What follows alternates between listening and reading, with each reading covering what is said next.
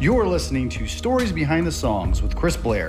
For more information, check out chrisblair.com. Hey, everybody, here's another episode of Stories Behind the Songs. I'm your host, Chris Blair, and this week I sat down with Trannie Anderson.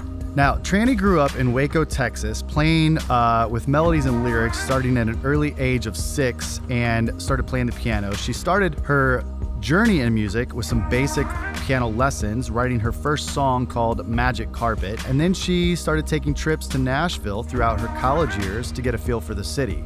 Uh, during the summer of 2015, Trannie graduated Baylor University, moved to Nashville, connected with artist Lainey Wilson, and also played her first Listening Room Cafe show in November of 2015. Uh, you're going to hear stories behind the songs that she has written for Gabby Barrett, Adam Doleac, and Walker County, which all resulted in cuts during the same week, which is just crazy.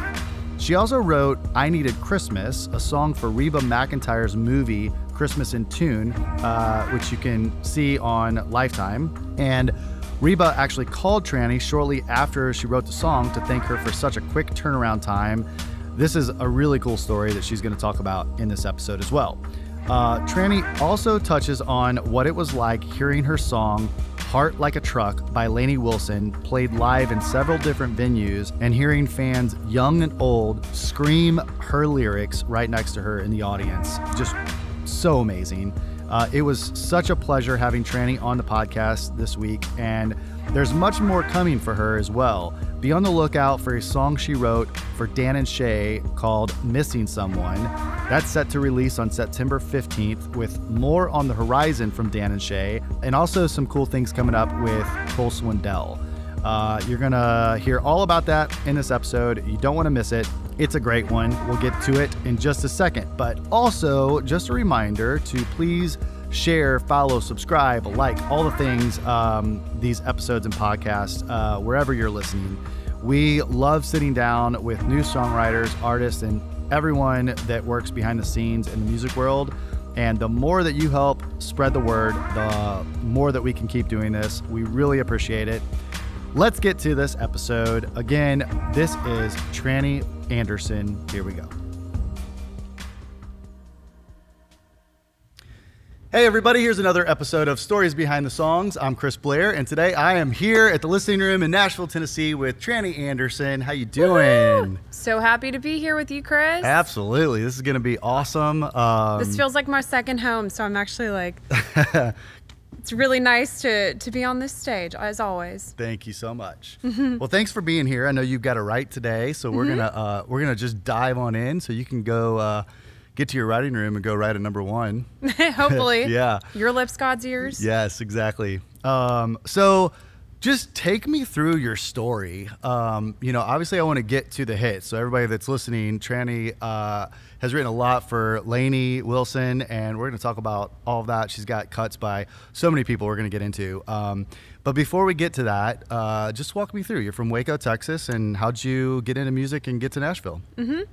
Um, yeah, from Waco, Texas, and I started writing songs at a really young age, like six or seven. Um, I like didn't even know how to spell at that point, and my mom noticed I was doing things like that. I was sitting at the stand-up piano that was in our living room, and um, it was my grandma's old one, and no one ever played it ever, but I was just fascinated by it like mm. really early on. So I would sit there and I couldn't even reach the pedals and I was like making up little melodies on the piano. And my mom got me some piano lessons from a Baylor student because um, Baylor is in my hometown. Yeah. And um, so, yeah, I mean, I told, she came over and started teaching me like the basics of piano, like as much as a six year old, seven year old can know. And um but I started like singing these songs for her and she would write down the lyrics for me and um, so like the fascination with it was like super early on. So you're not playing like jingle bells or like, you know, uh Hush Little Baby or like songs that you probably were listening to as a kid. You're yeah. making your own songs up at six I was. That is amazing. My first song was called Magic Carpet. Wow. yes. Not Steppenwolf, but your magic carpet. yeah. Yeah. Yeah. Love it. Probably inspired by Aladdin. I don't know. yeah. So, um, so then that that just carried on. Did you do that then all through school? Yeah, so I mean, I did a lot of things growing up, uh, a lot of sports and stuff. And my parents, I mean, like, they definitely poured into the music side of me, but they wanted me to just be like a normal kid too. Um, so I feel like I didn't like just focus on music until later, but um, but I remember um, sometime like later in elementary school, um, there was a music minister in our hometown named Gary Rhodes who actually used to write for Word um, because Word, the publishing company, used to be based in Waco, Texas. Oh, which is so random. Yeah. I don't remember what years that was, but um, before it moved to Nashville. But um, there were a couple writers in Waco that used to write for Word and just stayed in Waco. And they became music ministers. And so, and they had like won Dove Awards and things like that. And um, anyway, Gary, his son, and I were good friends all grown up. And he knew that I wrote songs. And so he started giving me songwriting lessons. And I was like, you know, third grade, fourth grader, going to his church office, and I'd say, Mr. Rhodes, here's a song that I just wrote this week. And um, he taught me song structure and all kinds of things, and like ended up producing a, an EP for me in middle school. My first EP was like, I was 12 years old. Wow. And so I knew of Nashville at a really young age um, because of him. Yeah. And uh, my mom took me for the first time when I was in seventh grade. And I recorded with some session musicians here, just like two songs. And that memory um, is just burned in my mind. And like, has impacted me at such a young age that I was like, I have to move here someday. Like, this is, I just like felt the call Yeah. to move here. So I had bands in high school and college. I went to Baylor and like played all over Texas. And um, the plan the whole time was like, yeah, I'm going to move. I'm going to finish college and then I'm going to move to Nashville and be a songwriter. Yeah.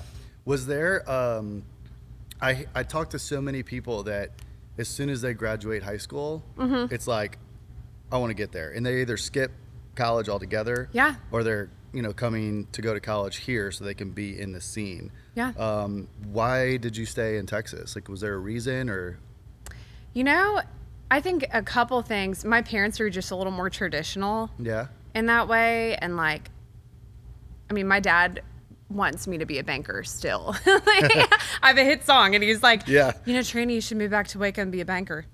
um, so that's just how they think. And I had the opportunity to go, and it wasn't gonna like put me in a bunch of debt or anything. And and so, and like, I was raised to think like in a very balanced way of like hey like you you don't pick one thing and that's like your identity in your life like you there are a lot of facets to who you are and like so for me college was just like oh yeah that's like that made made sense for me like i wanted to be in a sorority i wanted to have friends at college i wanted to go to all the football games i like i wanted to like have a really normal Yeah.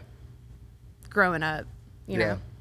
So that's why I chose to stay there. Um, and I just, I also just didn't quite feel ready to move here and like, like emotionally speaking, I guess. I just like, I just wasn't ready to like take Nashville by storm. Yeah.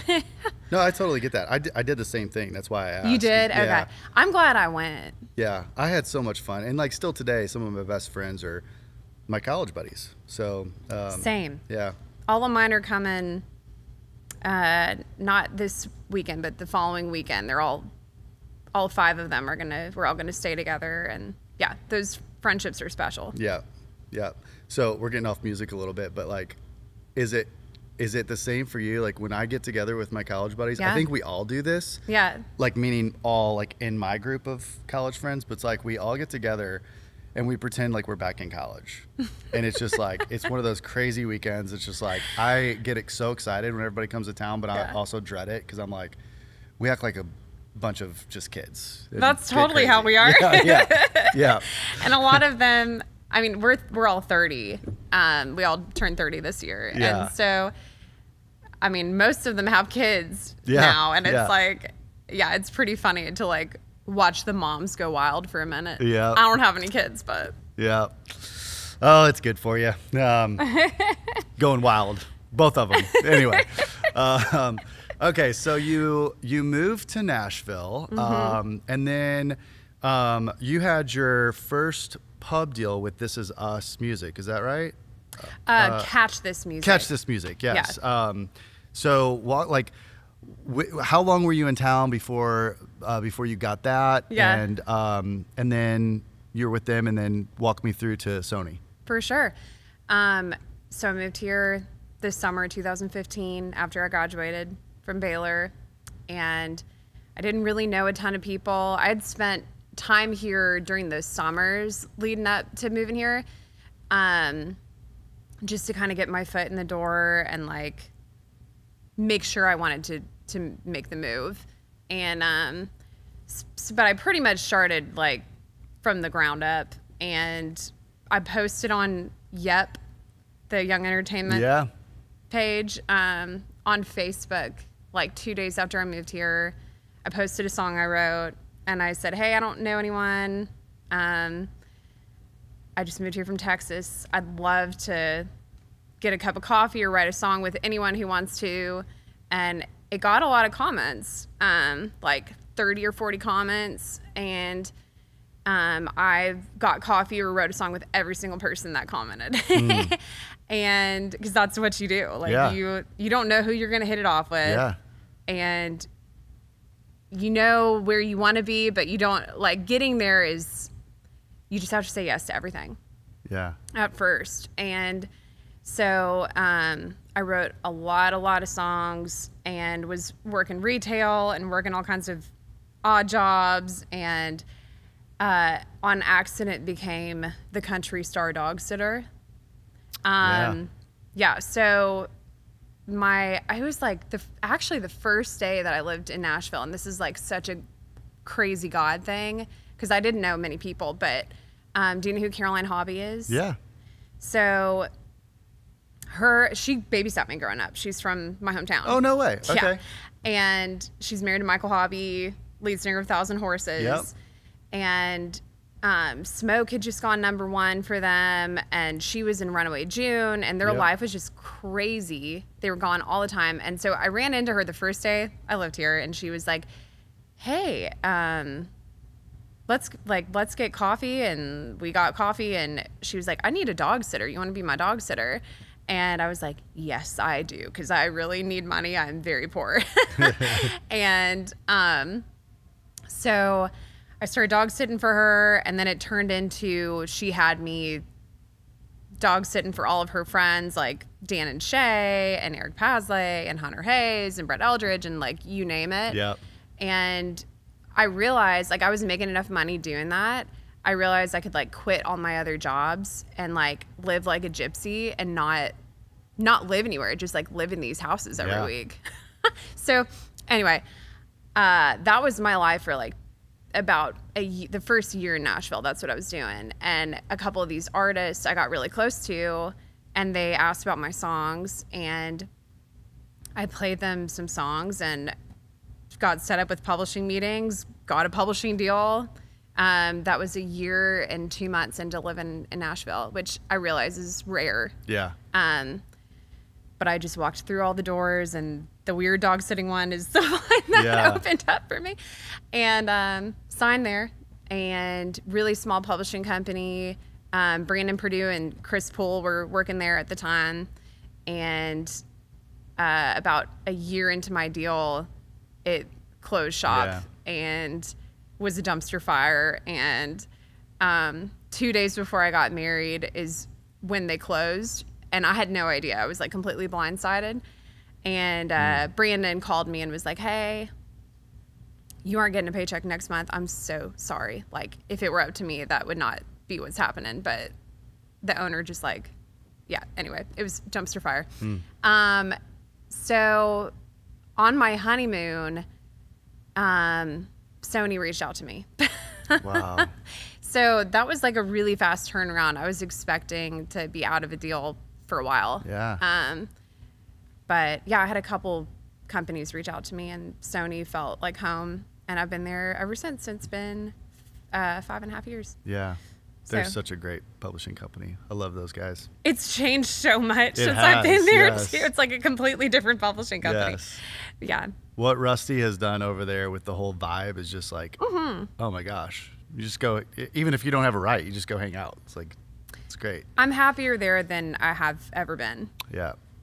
So So, um, so then like, th- we, we talked a little bit before we, uh, we did this. I think this is interesting. Like the first time that your husband, who you were just dating at the time, Yeah. the first time he heard you sing yeah, was at the listening room, it was. which is really cool. I love that. It's really cool. I was like, I didn't remember that fun fact until I was thinking about it this morning, and I was like, whoa.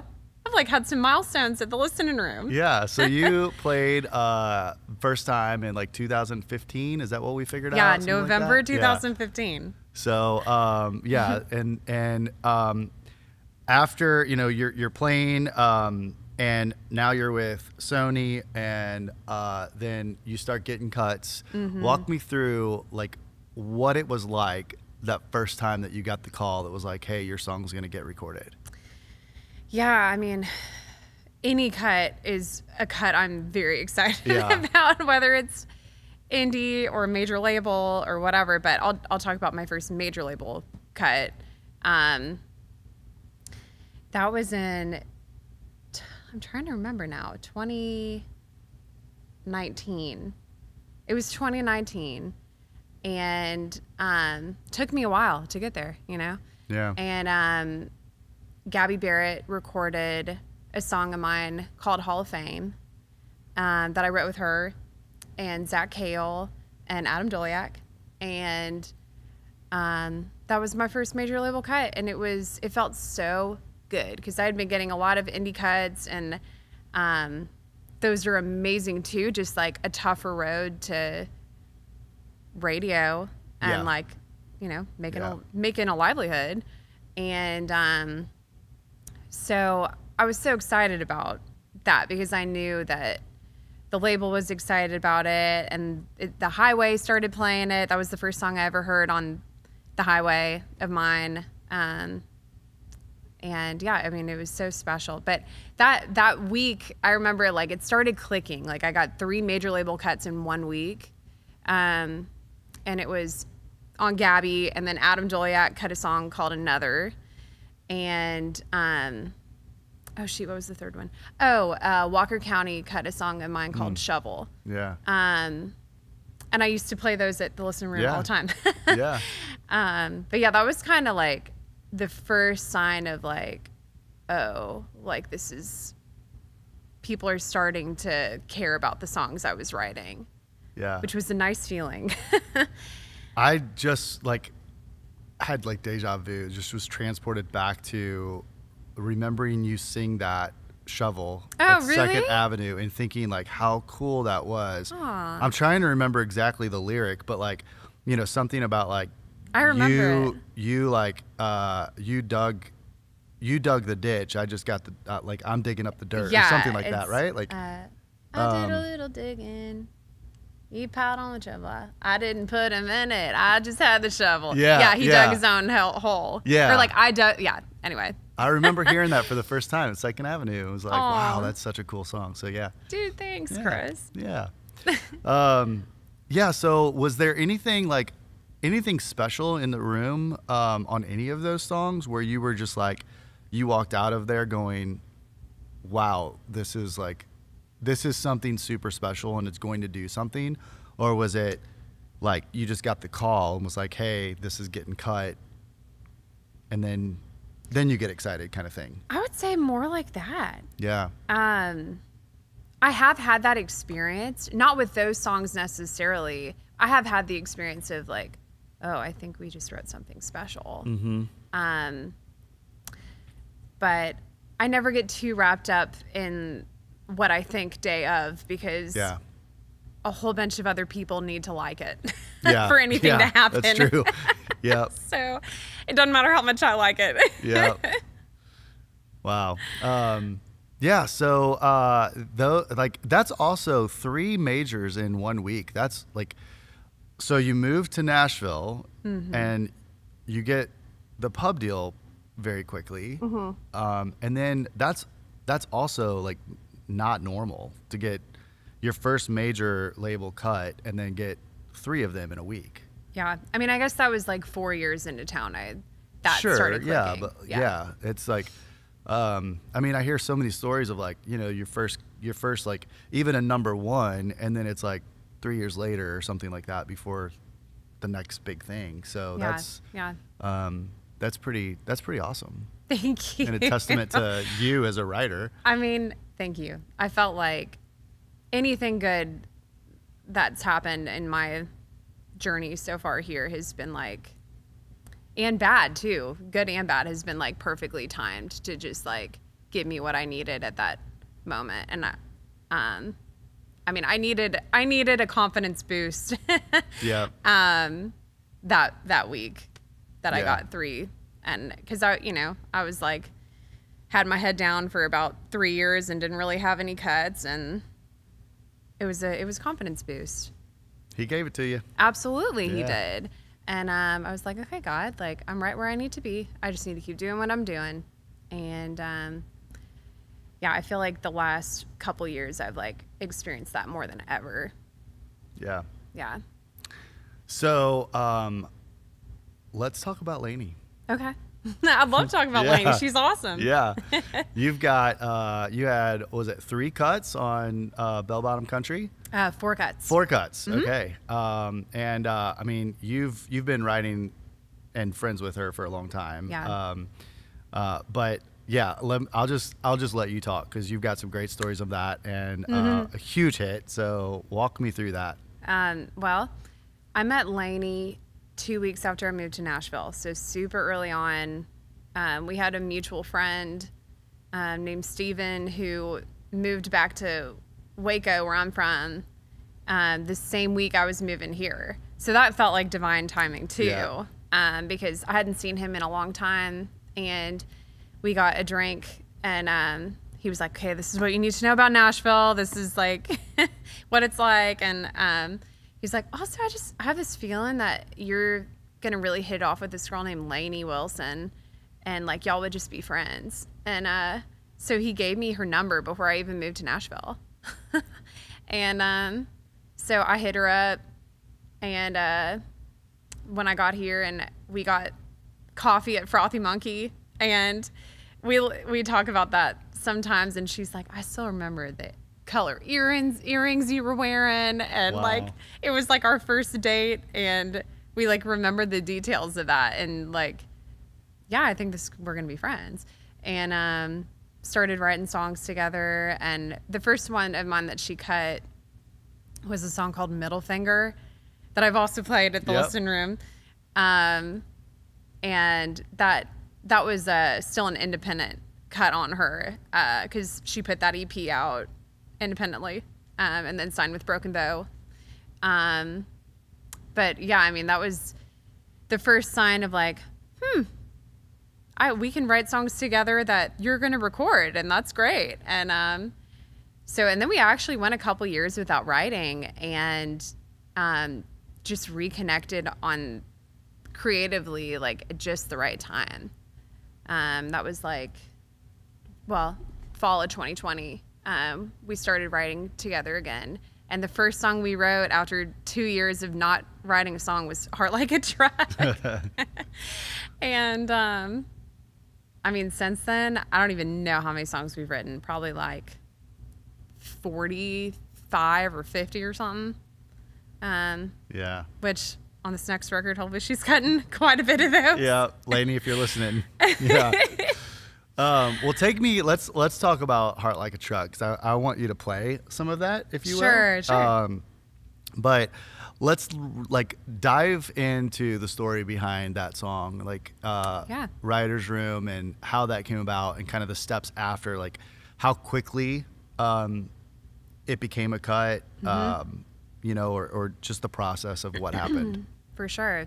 Um, so we wrote that song with uh, our best friend Dallas Wilson, and we had, the three of us had never written a song together um, until that day. And I'd written a lot of songs with Dallas. She had written a lot of songs with Dallas. I'd written a lot of songs with her, but we had just never done that combo. And um, and Dallas just had a feeling it was going to work really well. And um, so our publishers put together, and um, I remember the day before, since I hadn't written with her in a while, and she had kind of like started to have a pretty good buzz around town. I was like, I need to go in with something good. and um, so I went on a, I got canceled on the day before, and I was like, okay, well, that's okay. I'm just gonna like spend today thinking of ideas for Lainey. And um, I was walking around the Greenway at McCabe and just listening to music and trying to feel inspired. And I thought of the hook Heart Like a Truck on that walk and um, went back to my house and like kind of worked up what I thought was going to be the chorus for it. And um, like had very similar lines as the finished product, but like was super up tempo, um, trying to sound like a single, you know, and what what you would think a single would sound like, because we're all trained to push the tempo as much as we possibly can. Um, and so I remember taking that in the next day, hoping she was gonna like it, and she I played it for her, and she and Dallas were like, "This is super cool, like love the hook." And we need to probably find a different vibe for it because it doesn't feel honest. And um, and that's she was like, I this feels like me. I want to I want to write a more honest melody, an emotional melody for it. And I was like, let's go, let's do it. And um, so I remember Dallas picking up his guitar and he kind of started playing the verse, what ended up being the verse chords, and um, Lainey and I were just singing over the top of it, trying to find something, and it started clicking pretty quick. And um, probably like three hours later, we had the finished product of Heart Like a Truck, and uh, and I knew it was special. We all knew it was special, but we just didn't know what a Lainey Wilson hit sounded like Yeah. yet, because things a man ought to know hadn't gone number one at country radio yet. I think at that point it was like at country radio, but no one knew that song yet. Um, so it was still kind of just like everybody's first single that blows up is just like a shot in the dark. You don't know what it's Yeah. what's gonna hit, you know. So I was hoping we wrote a Lainey song, but I wasn't sure. Um, so I remember about six months went by, and um, she ended up recording it with Jay Joyce. And Jay is one of my favorite produ- probably my favorite producer. I mean, he just like is so creative and um, I just love how he thinks, and uh, his ear is just so unique. And he changed a couple of the progression, like he changed the progression and the bridge, um, and that like to me just like took Heart Like Truck to a whole new level. Um, so I've I've taken note of that. All all the songs I've written since, I'm like, okay, I'm gonna pretend Jay Joyce is gonna produce this, and I'm gonna make the chords interesting before he does. Yeah. Um, so anyway, six months, and then uh, I remember she played it for me for the first time. Um, me and her were writing with Casey Brown, and she was like, "Hey, do you want to hear the Master Heart Like Truck?" And I was like, uh, "Yeah." And she played it for me, and she told me that was going to be her next radio single, and I cried. Yeah. and um, we were having this moment in front of Casey Brown. I was like, "Sorry, Casey," um, and I mean, before it actually was out and became the single, a year went by. So, like, living with that information in the back of my mind for that long was so hard. Yeah. because it's always subject to change, you know? Yeah. Gosh. That's that's so amazing. And um did you ever get to go out with her on tour to to like witness that and Yeah. get and so uh how was that standing side stage watching thousands and thousands of people sing your song back? You know, it's been really cool because um, I've seen it at different stages. I've like seen the audience for it grow. Mm-hmm. Um, I- the first time I saw her play it out was she was on Jon Pardi's tour, Mm-hmm. and Dallas and I went and met her in Las Vegas, and uh, Wait, were we there together? quite possibly I was there at that tour. you were there Yes. at that show. Yes. Well, we were then. Yeah, like like with the pool in front, and Oh, yeah. uh, yeah. We I hung out I hung out with Lainey that afternoon talking about how long it'd been and what she'd done since Song Suffragettes. Oh my We had to be like right there together. Yeah, I was, Dallas and I were there. I was with Pardi's camp. okay. Um, so funny. yeah, a good friend of mine uh, at the time was his TM, so I was on that tour. gotcha. Um, that's so crazy. I didn't know that you were there. like, crazy. Yeah, we didn't was- run into each other. I was especially there. afterwards, like after the concert, like Yeah. where everybody was like kind of partying after it. Like we had to be like hanging out right next to each other and didn't That's even know so it. crazy. yeah, Well, that was a really fun show. Yeah, it and that was, was yeah. the first time I heard her play Heart Like a Truck live. yeah, And people didn't know it, you know, um, because it had just come out. And um, so I just remember like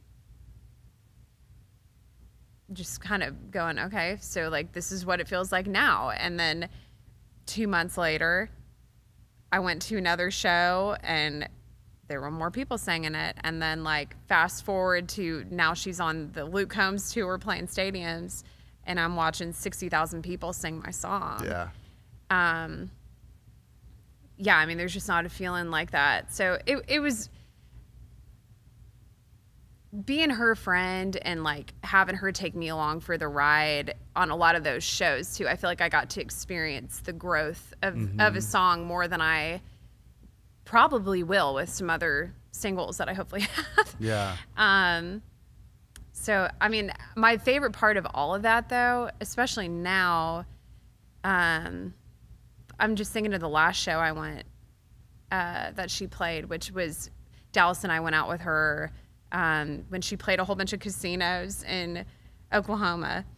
Uh, this was like probably about six weeks ago, and um, I was out in the crowd. I, I prefer to be out in the crowd instead of side stage Yeah. because then I'm like a fan and I get to like really enjoy the show. Yeah. And um, I just remember like looking to my right, looking to my left, and there's like sweet little girls that are 12, 13 to my right that are screaming this song with everything in them Oh my god. and emotional about it. And like, I know that that song is like, I just got chills. like a part of them, you know. And then I look to my left, and there's this six-year-old man screaming and like with all he's got in him, and I'm like, that is just so amazing to like see a song have that much mean that much to that many types of people, Yeah, you know.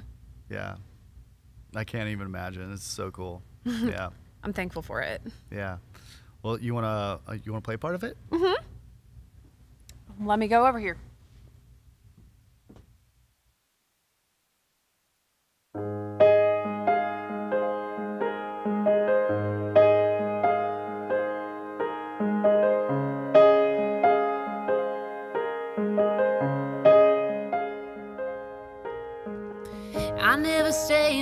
Place too long. A dirt road singing me a siren song. I gotta find a field.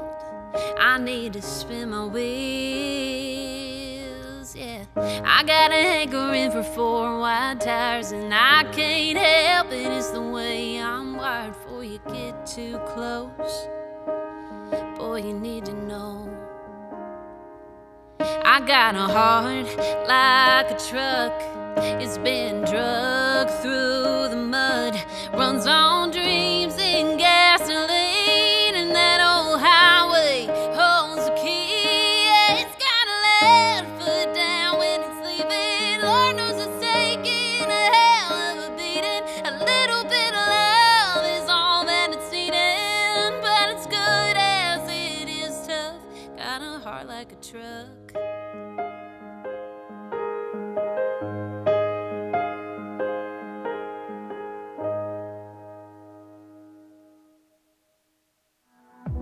This episode is brought to you by Britt Skin Beauty.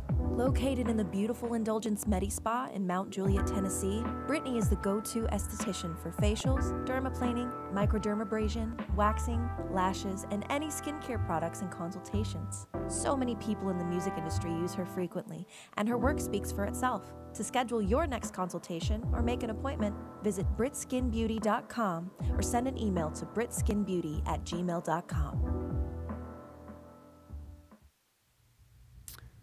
That was so great. I love that song. um, all right, let's. Uh, I, I wanna. Uh, I wanna like get you out of here in time for your right. Um, but I want to go back because you have uh, you have some stuff that you did early on that I think is super cool because Mm-hmm. it's also uh, not radio, it's TV. Yeah, Um, I love doing that too. You also have some really exciting things coming up that I want to make sure that we hit on. So, Sure. Um, but you have a song that got cut by Reba McEntire. Reba McEntire, baby. Yeah, so that's pretty sweet. Very sweet. Um, and that was a Christmas special. Um, so yeah, how did how did that happen? And like, Yeah. what was that like? Well, that was another instance of me getting canceled on. and um, so I'm just telling all y'all listening if you're a songwriter, sometimes the best thing that can happen to you is you get canceled on that Yeah. day, but you got to make the most of it. You got to choose to not be upset about it and go make lemonade. And um, so that day, I was like, man, I really like, really want to do something just cool and different today with my time. And Dale Bobo, who's at over at Sony, um, amazing publisher, amazing person. Uh, he called me and was like, hey, uh, this is kind of a hail mary, but Reba McEntire needs a song for her Lifetime movie. And um, I was like, all right, you know Challenge what? accepted. You know what? Yeah. That's what I'm going to do today. And so I called my friend Jared Conrad and um, I was like, hey, you want to take our shot at this? And um, he was so smart because we didn't get any information about what the movie was about or anything. And um, we just looked up press releases for it online and it kind of gave us the premise of the movie. And we were like, all right, well, that's enough to go off of. So we wrote a song called I Needed Christmas. And the movie was about this divorced couple getting back together at the end of the movie. Sorry to spoil your lifetime movie. um, but uh, so we knew that like I needed Christmas to find my way back to you is the hook. And um, so anyway, we wrote the song and Reba's team, we turned it in the next day. Reba's team freaked out. She cut it the day, the next day. Wow. so it was like a three day turnaround. Yeah. And they filmed the movie like the following week. And so it was really crunch time for them. And um, what's so funny is the song ended up becoming such an integral part of the movie. They like threaded the song throughout the entire movie. Um, and it was just so cool. And Reba gave me a phone call, which was so classy of her. Yeah. Um, I remember I was in a write and um, Dale gave me a heads up like, hey, Reba might call you today. And I was like, okay, that's pretty crazy. And um, so I was in my write and I get this call from an unknown number. and I'm like, this has got to be Reba. And um, so I, I was like, I'll be right back. I didn't tell my co writers. There was just like a lot going on. And I stepped out and I picked it up and she goes, Hi, Trannie, this is Reba McEntire. And um, we talked for a couple minutes and she was so kind and thanked me so much for writing the song last minute. And anyway, very cool. And Wow. I get to enjoy that Lifetime movie for, I'm going to make my future kids someday Yeah, watch it every yeah, Christmas. yeah, They're going to will, hate yes. it. Oh my gosh, that's amazing. so um, let's let's also talk about the exciting things that you have coming out. You've got a couple For things that are that are happening right now. So Yeah. what should everybody look out for? Well, I'm very thankful that outside cuts are happening again. I like I'm having plenty of songs cut by artists that I'm writing the songs with them and that's just means so much because those are always really honest, but it's such a great feeling when you wrote a song that somebody thinks is so good that they're okay not having their name on it. And and they can pour their identity into something that they weren't in the room for. I just hmm. that means so much to me as a songwriter. Yeah. And I've had a couple of those recently. Um, one of those is on Dan and Shay, who I used to dog sit for. and I love telling that story when I play. Uh, it's called Missing Someone.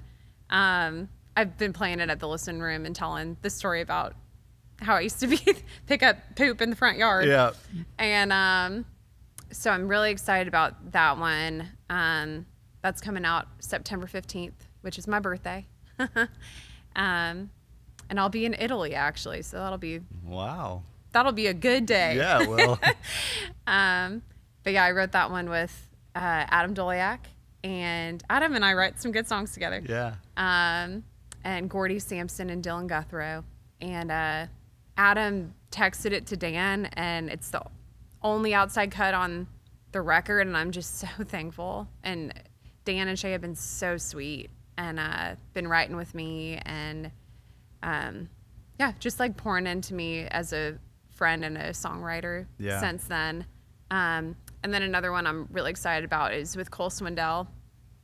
Um, feel like I can't like dive into the details of that one yet. Yeah, a little he, early. He just yeah he just recorded that one um, really recently, but it's called Three Feet Tall, and um, it's one of my favorite songs I've written this year with Jordan Walker and Trey Lewis, Mm, yeah. and um, so I'm really excited to see the journey of both of those songs. Yeah. I can't wait to to watch what happens, and um, just so happy for all the success. Like Thank you. from the early days of playing listening room and just everything that's happened since then. It's been it's been fun to kind of be a speck on the wall in the back of the room watching everything Wow. happen. Thanks, Chris. And I got to thank you so much for creating an environment here for us to get on stage and share our music mm. and create new fans. And I mean, it's just like the listening room is my favorite place to play in Nashville. Like, it mm. truly is. And.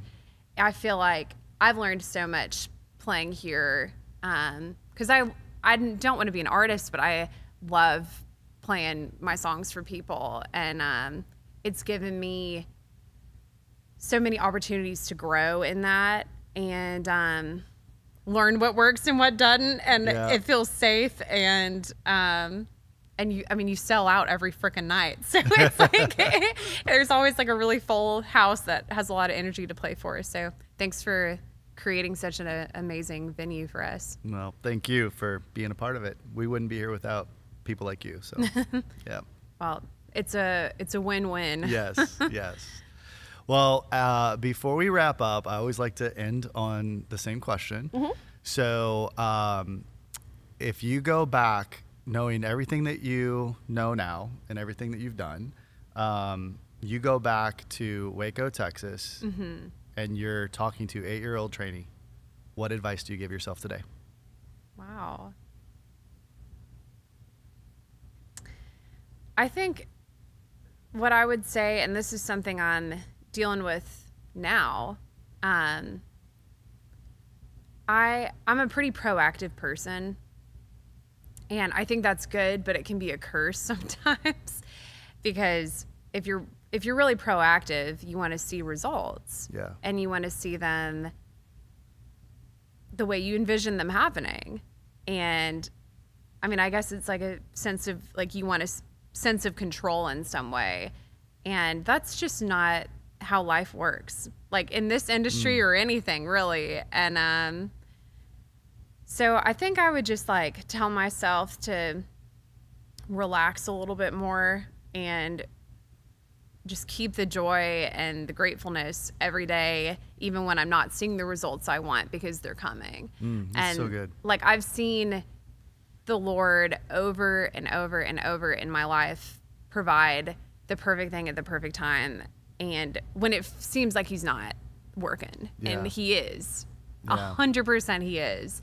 Um, it's just like us having to learn to fully trust in that process and um, be grateful on the, the hard and the beautiful days. Yeah. Love that. Great advice. Um, well, thank you again for being here today and sharing Thanks your for having time. me. Uh, it's been a lot of fun, and we'll have to uh, come back in a, uh, a year or so and Sure. talk about everything that happened since. So, I would love to do that anytime. all right. Well, thank you guys so much for listening. This has been another episode of Stories Behind the Songs, and you've been listening to Trannie Anderson. We'll see you next time.